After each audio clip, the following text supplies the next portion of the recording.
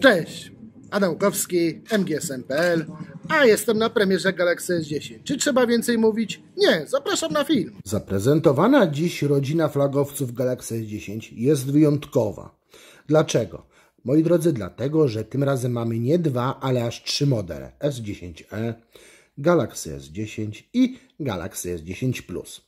Co najważniejsze, wszystkie te trzy modele łączy wiele wspólnych cech, jak choćby użyte procesory czy ekrany Super AMOLED z rozwiązaniem Infinity O i proporcjami 19 do 9.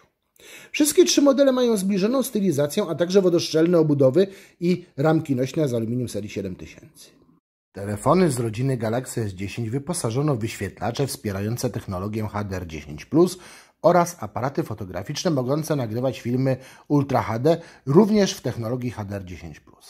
Aparaty wzbogacono też o ulepszone nagrywanie slow motion, rozpoznawanie 30 scen z użyciem sztucznej inteligencji oraz asystenta kompozycji ułatwiającego dobór idealnego kadru. Nowością w dziedzinie fotografii jest również tryb Super Night Shot, łączący zdjęcie z 7 klatek zapisywanych przez 2-3 sekundy lub z 17 klatek rejestrowanych w ciągu nawet 40 sekund, jeżeli korzystamy ze statywu. Jasność wyświetlaczy nowych Galaxy S sięga 800 nitów, a w oprogramowaniu znajdziemy również ulepszony filtr światła niebieskiego z pełną automatyką oraz tryb nocny z ciemnym motywem graficznym.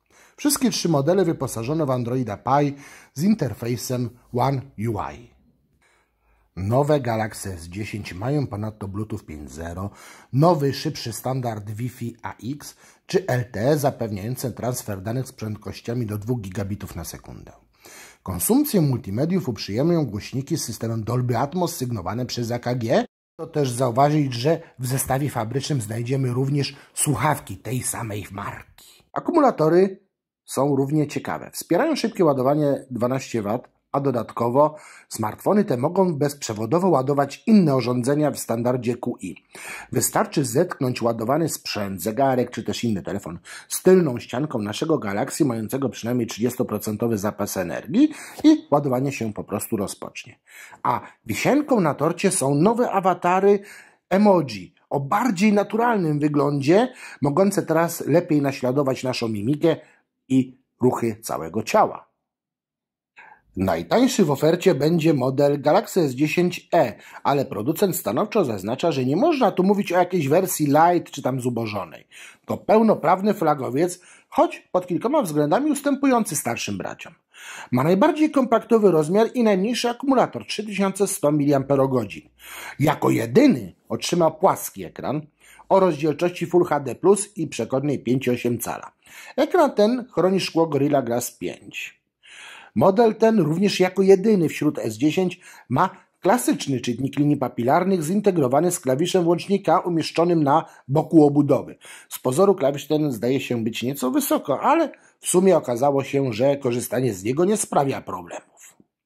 W modelu tym znajdziemy pojedynczy aparat fotograficzny z przodu, mający 10 megapikseli, technologię Dual Pixel i obiektyw o jasności 1,9. Tylny aparat jest natomiast podwójny. Ma 12-megapikselową matrycę główną z obiektywem o zmiennej przysłonie między 1,5 a 2,4, optyczną stabilizacją, ale mamy też dodatkowy obiektyw o polu widzenia 123 stopni przysłonie 2,2 współpracujący z matrycą o 16 megapikselach. Galaxy S10 będzie wyróżniać się na tle starszych braci unikalnym wariantem kolorystycznym, kanarkowym. Bazowy model, czyli Galaxy S10 jest już większy. Ma ekran z zaokrąglonymi brzegami i przechodną 6,1 cala i rozdzielczością White QHD+. Zmieniono również szkło. Tu już mamy Gorilla Glass 6. Urósł też akumulator. Mamy pojemność 3400 mAh. Ale przedni aparat wciąż jest taki sam jak w tańszym Galaxy S10e. Ale już tylny został wzbogacony o kolejną trzecią matrycę, znów 12-megapikselową z optyczną stabilizacją, ale za teleobiektywem o przysłonie 2,4, dającym bezstratne zbliżenie. Topowym modelem serii jest natomiast Galaxy S10 Plus z ekranem o przekornej 6,4 cala. Tutaj mamy poprawioną jeszcze bardziej gradację czerni, ale wciąż są zaokrąglone brzegi i rozdzielczość White QHD+. Akumulator też musiał urosnąć do 4100 mAh. Tylny aparat jest dokładnie tak jak w Galaxy S10, o którym opowiedziałem chwilę temu, ale przedni jest już podwójny, umieszczony w ciekawym noczu. Y, to jest wycięcie w ekranie, ale nie okrągłe, tylko takie przypominające nieco lornetkę. I tutaj do 10-megapikselowej matrycy znanej z pozostałych dwóch Galaxy S10 dodano drugą 8-megapikselową z przysłoną 2,2. Służy ona do rozmywania tła, w tym również z dodatkowymi efektami, jak choćby y, rozmycie tła w formie jakiejś spirali, czy dodanie wrażenia ruchu, czy też y, zmianę tła na odcienie szarości.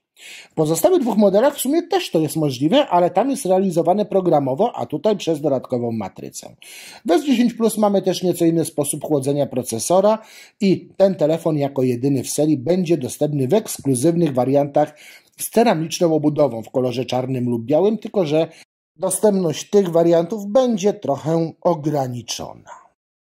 Te nieco droższe modele, czyli Galaxy S10 i S10 Plus, wyposażono jeszcze w ultradźwiękowe czytniki linii papilarnych zintegrowane z wyświetlaczami.